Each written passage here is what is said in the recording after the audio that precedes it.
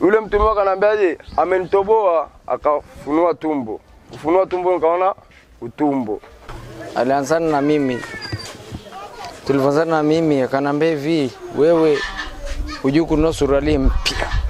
Nikamwacha huyu, amini kweli, shetani anajua kumvuta, ma, kumvuta mtu wake. Nikamkwepa na ile balaa.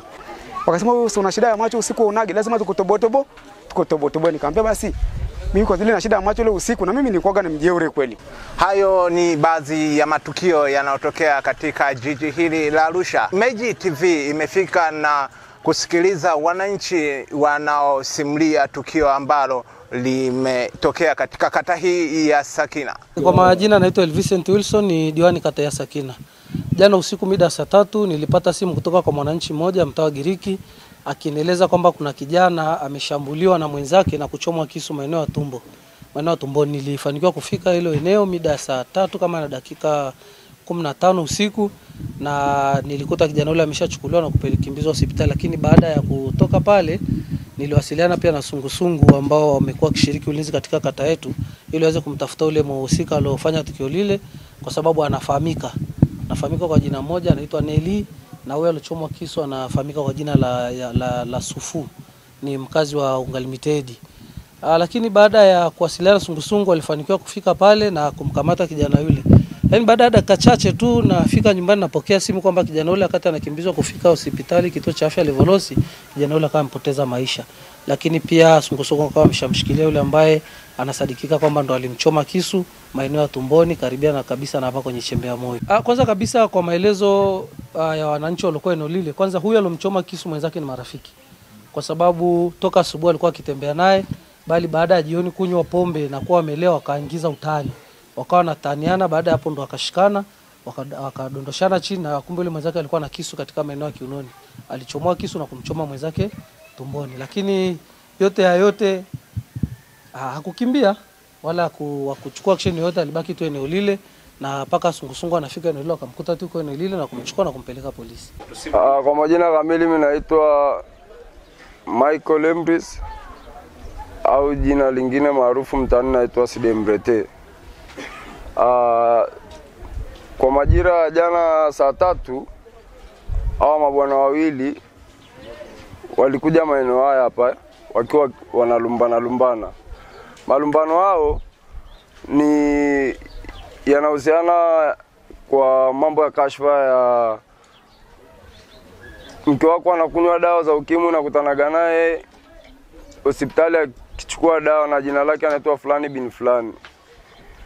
Pale baada ya marehemu kusikia vile, tukamwambia "Ah, mbona maneno mnakuja kukafikisha maneno kama haya ya siri, mnakuja kutoleana siri zenu za madawa huku, embo ondokeni, tundoleni hizi kero, afu si atupende amane mane haya maneno hivi. Kama ni madawa mnakunywa nyie, nendeni huko.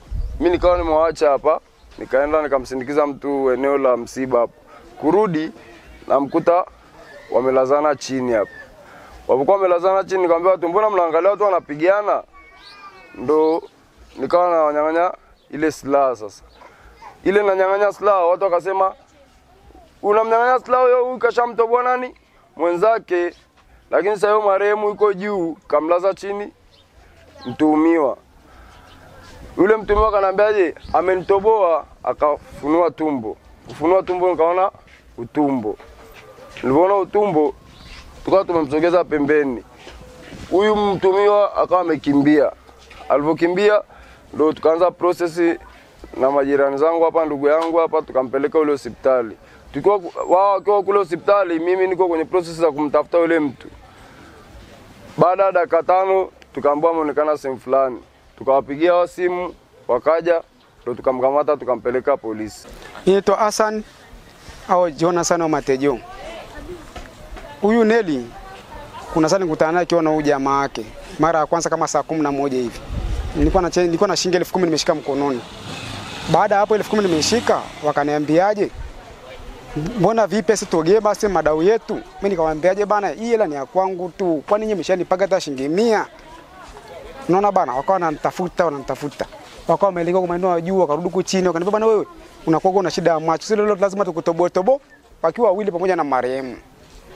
Wako wili na marehemu, wakawa wametembea wakaondoka, wakaenda hivi juu, wakarudi chini, wakiwa na marehemu, wakasema wewe una shida ya macho usiku unage, lazima tukutobotobo tukutobotobo. Nikamwambia basi mimi kwa zile na shida ya macho ile usiku, na mimi nilikuwa ni mjeuri kweli.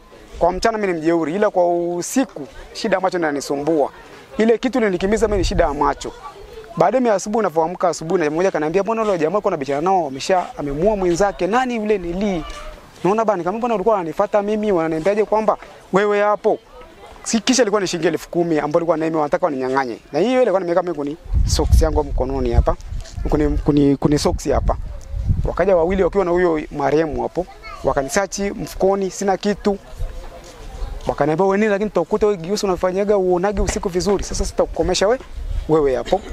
Hadi tukikuta mali tunakumali maliza wakiwa wewe na marehemu. Lakini asubuhi baada ya kutembea maeneo ya Mapombe nikapata nika, nikapata taarifa bwana, yule jamaa jana alikuwa anakusumbua. Mbona umechomana visu? Mwingine amekufa, nikashtuka hata mimi. Mbona jana ndio walikuwa wananjenjea wakiwa wawili wote? Kwa jina naitwa Bob Sambeke maarufu katika mtaa huu wa Giriki. Kwa kweli tunarudia kusema tena, narudia kusema tena juu ya vijana, huu mtaa umezidi na sana vijana kuzidi katika mtaa huu ni hii unywaji wa vipombe. Mimi nachosema kutokea hapa ni baada ya kupigiwa simu na kiongozi aliotoka wa kwanza kijana, nipa taarifa kwamba bana, njoo uko wapi? Nikamwambia mimi niko na mwenyekiti mwenyekiti Shomweta, akaniambia njoo basi, fulani Nelia amemchoma mtu kisu. Nikamwambia una namba ya Idrisa? Akaniambia ninayo, akampigia Idrisa. Naona na hapo hapo baada kumpigia Idrisa na mimi hapo hapo nikamwambia mwenyekiti Shomweta mpigie Idrisa, akampigia Idrisa. Kabla Idrisa hawajafika mimi tayari nishafika kwenye tukio, nimeshakuta huyu bwana kashamnyanyua huyo nani marehemu, kampeleka hospitali kwa huduma ya kwanza. Na baada hapo wamerudi wakamkuta mtuhumiwa amejificha, wakamkamata, tukakutana nao polisi.